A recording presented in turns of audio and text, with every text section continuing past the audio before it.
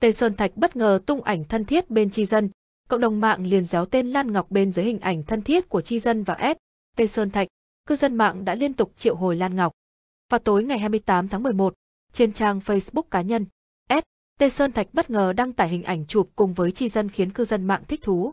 Trong ảnh, nhìn cả hai nam ca sĩ rất thân thiết, đồng thời diện đồ rất bảnh bao, khoe ngoại hình siêu điển trai đốn tim phái nữ.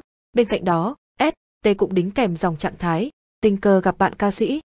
Hình ảnh này ngay sau khi được ép, tê đăng tải đã thu hút đông đảo sự chú ý từ khán giả và người hâm mộ. Thế nhưng bên dưới phần bình luận, ngoài những fan khen ngợi ngoại hình của cả hai soái ca, cũng có rất nhiều khán giả liên tục réo tên nàng Ngọc nữ Ninh Dương Lan Ngọc. Chắc chị Ninh Dương Lan Ngọc chụp ảnh, thiếu một người ở giữa là Ngọc Nha, vẫn thích ép tê với Lan Ngọc hơn, thêm Ninh Dương Lan Ngọc nữa thì đẹp.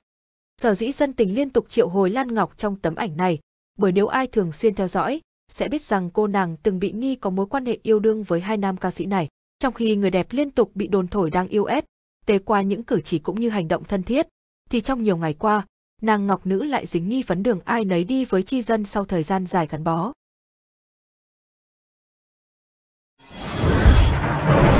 Kênh truyền hình SCTV6 phim 360 hoàn toàn mới